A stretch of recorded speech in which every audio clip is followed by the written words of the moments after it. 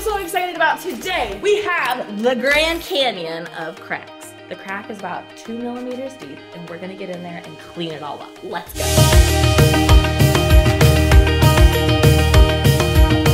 I do all of my pedicures dry. So the first thing I'm gonna do to kill those microbes and those germs and also the smell is I'm gonna use my Podoexpert shoe and foot deodorant. This is good for any of your clients, whether it's your smallest little pedicurist or your elderly, your diabetic. Gonna let that sit just like that. I like to rub it in. Has like a, like a nice little tea tree smell to it. Next, I'm gonna ask my model or my client, is there any healthcare concerns that I should be aware of? Okay, that's great. Since we don't have any medical concerns, I asked my client where I should focus and she said the Grand Canyon.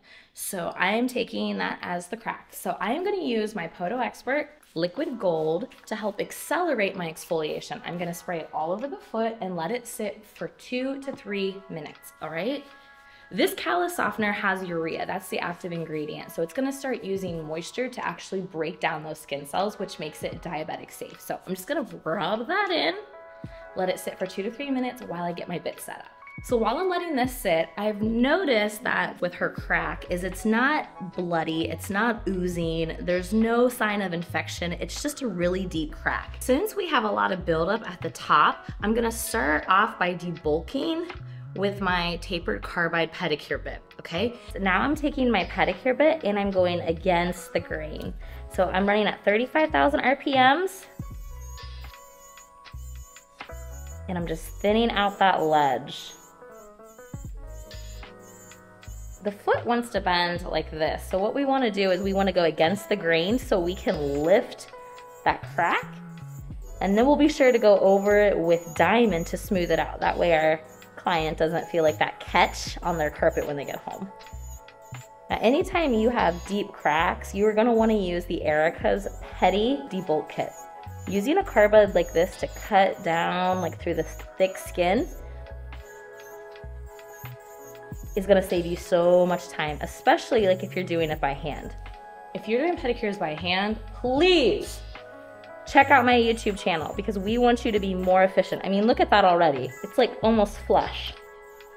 So over here was way more crusty and even here, here it's not as much. So I'm gonna try to concentrate more on that crack so I don't create heat for my client. See how I can like move the skin, whereas here it's more crunchy.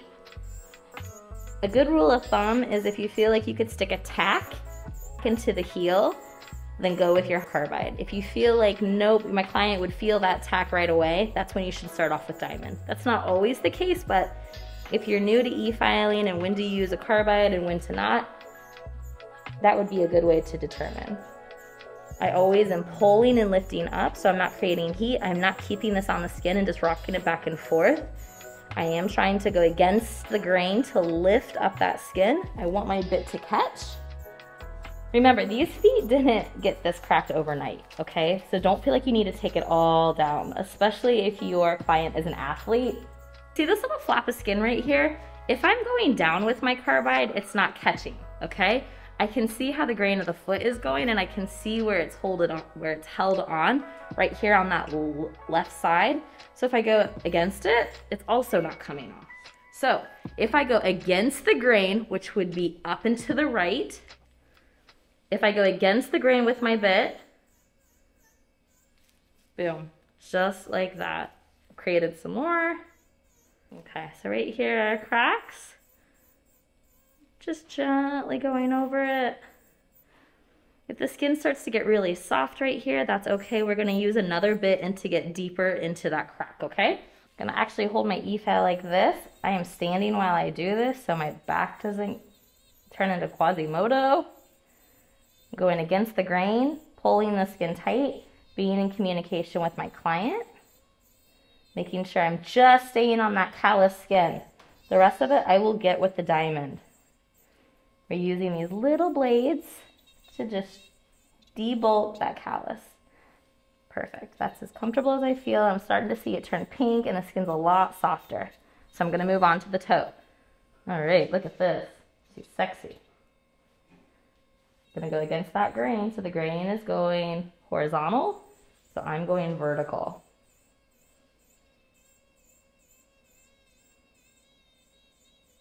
Being very, very gentle. Now, since she was really crusty on the heels, I did apply more pressure. So usually I am telling you guys like pressure like a kitty.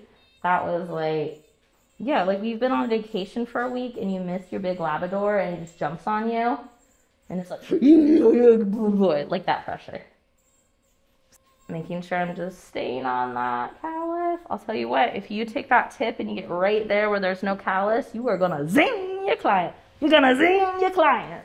All right, now I have my Pedicure Debulk sphere and I reduced my RPMs to 25 just to kind of see where I'm at, okay? I see the skin starting turning more pink, but what I'm able to do now is get more into that crack, just stretching it. Really, really gentle. I'm seeing more people use a carbide to carve out these little artificial cracks. They're not artificial. These aesthetic cracks. Just be careful and play around with your RPMs so that you make sure that you're not burning your client. The objective is not to go to the point where they're feeling heat. So I'm just using that ball bit. I'm trying to avoid using any kind of point in that crack because I don't want to draw blood. I want to be really careful. This is, if my client was a diabetic, I probably, I definitely would not go this far.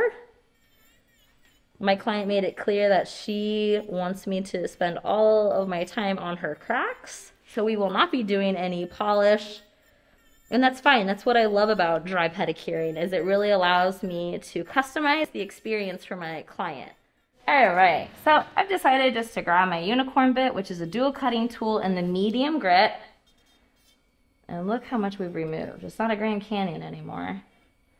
So I'm just kind of flossing it, taking my unicorn medium grit at 18,000 RPMs and just flossing it.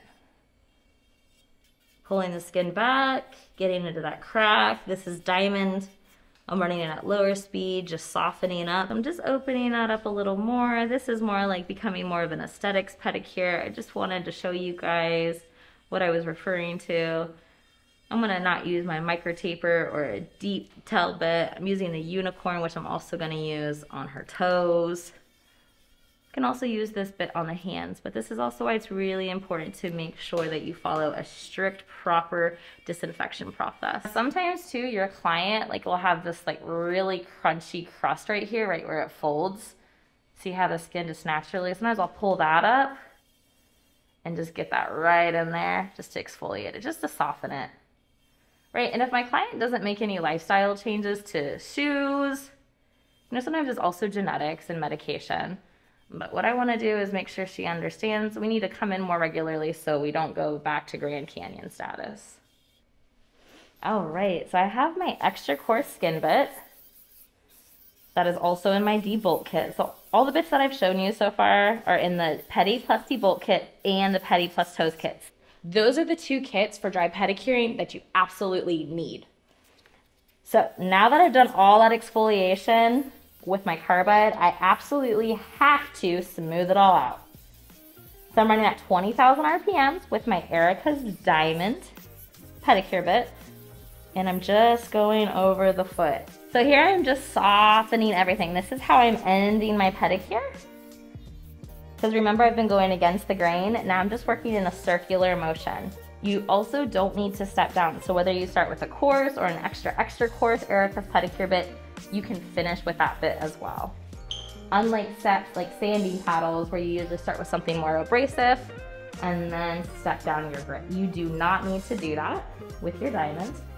But if you use carbide, you always need to finish with diamonds. Circular motion, and I am lifting up my tool because I don't want to burn my client, okay? You might find that your handpiece is getting a little warmer or there might even be like a little more shimmy in your E-file. This is a bigger head, okay? So the closer you can have it to the handpiece without it touching and not affecting your range of motion, the better. If you have this bit sticking out really far, you're gonna lose control. Now for the fun part. I'm gonna use my Podoexpert orange label, so that is for dry and cracked feet.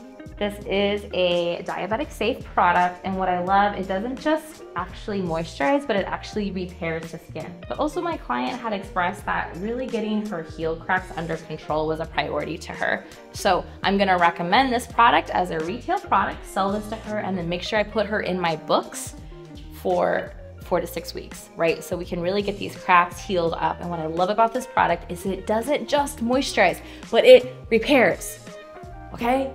Yeah, you can go to the grocery store and get a big container or Costco full of Vaseline, but guess what? That is not going to help, all right? We need to repair. Vaseline does not repair on the feet. It just creates more problems. I know, that's hard. This is my closing, like and subscribe, but the best part is I'm gonna ask my model now to touch her foot. Go ahead, touch it. You can say it. How's it feel? Awesome. Awesome. Tonight, she's gonna be playing footsie.